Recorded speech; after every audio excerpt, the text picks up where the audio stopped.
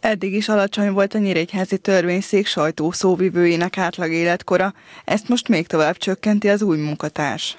Dr. Rásán Dalma 2011-ben megszerezte jogi diplomáját, majd 2015-ben jogi szakvizsgát tett.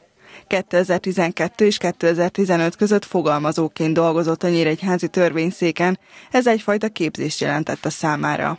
2018-ig bírósági titkár volt a Nyíregyházi járási bíróságon, 2019. január 1-től pedig már büntetőjogi bíró. Egész gyerekkoromban a bíróságon mozogtam, bejártam anyához az irodájába, és valahogy innen jött az, hogy én ebbe a közegbe szeretnék maradni, és szeretnék dolgozni felnőtt koromban is.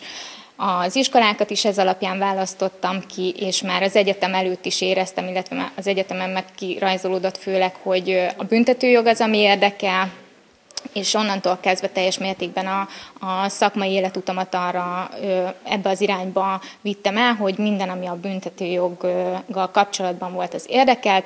Szakjogászképzéseket is ennek függvényében választottam, mi az, ami hozzásegíthet ahhoz, hogy minél jobb büntetőbíró legyek.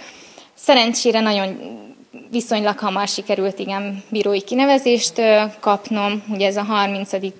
év, ez az életkor, ez kötött, be kell tölteni ahhoz, hogy valaki bíró legyen. Én miután ezt betöltöttem, rögtön pályáztam, és, és sikerrel pályáztam egy nyíregyházi álláshelyre. Dalma célja minél többet fejlődni szakmailag, hogy igazán jó bíró lehessen. Március 1 azonban sajtószóvivői feladatokat is el kell látnia.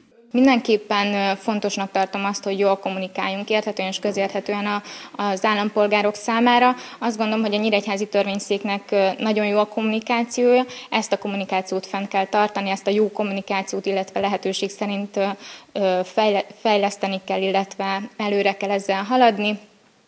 Legfontosabb az, hogy, hogy a bíróságok megítélését tovább javítsuk a kommunikáció során. A Nyíregyházi törvényszék számára fontos a hitelesség és az, hogy egy-egy szóvivő hatékonyan tudjon kommunikálni az ügyfelekkel is. Többek között ezért esett a választás dr. Resán Dalmára.